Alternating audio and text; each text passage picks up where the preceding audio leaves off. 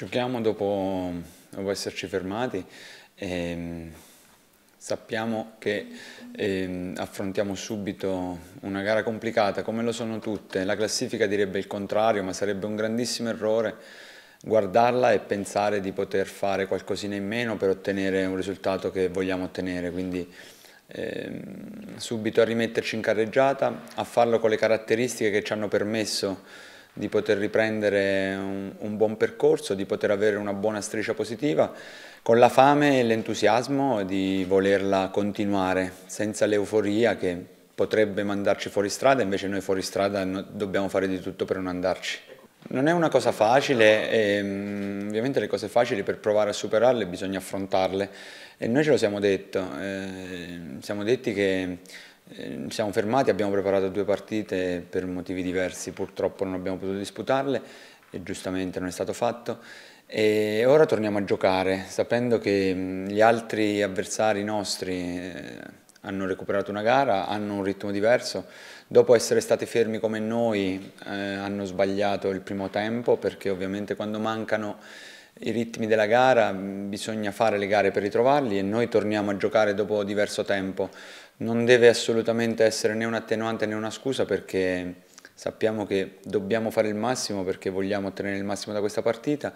ma dobbiamo essere consapevoli della difficoltà della gara perché tutte le partite di Serie B e ogni giornata ce lo dimostra, nascondono dietro l'angolo le sorprese e noi dobbiamo essere pronti a non farci sorprendere. La situazione infortunati abbiamo fuori Salzano e Economo credo Salzano fino a fine stagione e Oeconomu mm, almeno fino alla sosta, anche Berardi fuori, almeno fino alla sosta, mm, alla prossima sosta che arriverà e per il resto gli altri siamo tutti a disposizione, mm, ci siamo allenati bene, siamo allenati forte e quando ti alleni forte ovviamente può uscire anche qualche fastidio che qualche giocatore ha avuto, quindi eh, vorrò mettere in campo i giocatori che saranno al massimo per poter disputare questa partita per noi molto importante. Ma a me non piace tanto parlare degli altri perché poi alla fine mm, eh, potremmo anche essere banali perché per me è, è, così, bisogna rispettare tutti gli avversari al di là delle classifiche che hanno. Perché deve essere così, perché quando pensi che un avversario può farti meno male è il momento giusto in cui la, vieni punito. E noi non dobbiamo assolutamente pensare questo mai perché questo è un campionato che va affrontato sempre col piede schiacciato sull'acceleratore, va affrontato sempre con le caratteristiche che poi determinano i risultati, che sono quelle che sono la base di, di ogni squadra. E noi vogliamo ripartire con quelle caratteristiche eh, sapendo che l'avversario viene da quattro pareggi che poco tempo fa ha vinto su un campo difficilissimo come quello di Cremona facendo tre gol che nell'ultimo periodo non ha preso tanti gol, che ha una classifica difficile ma che sicuramente ha le qualità per fare buone partite come ha già fatto e noi questo lo dobbiamo sapere ogni partita, dobbiamo essere consapevoli che abbiamo tutte le qualità per poter fare una grandissima partita e vogliamo farla. Noi abbiamo eh, delle partite che si sono affollate un pochino, quindi mm, ne disputeremo qualcuna in più degli avversari. Eh,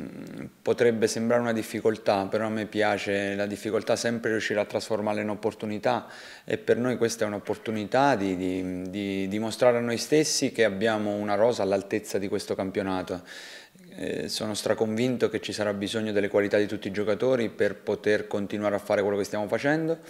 e mi auguro che in questo blocco di partite che arriveranno saremo in grado di, di continuare a fare quello che stiamo facendo con l'equilibrio che ci ha contraddistinto, con la voglia e la fame di raggiungere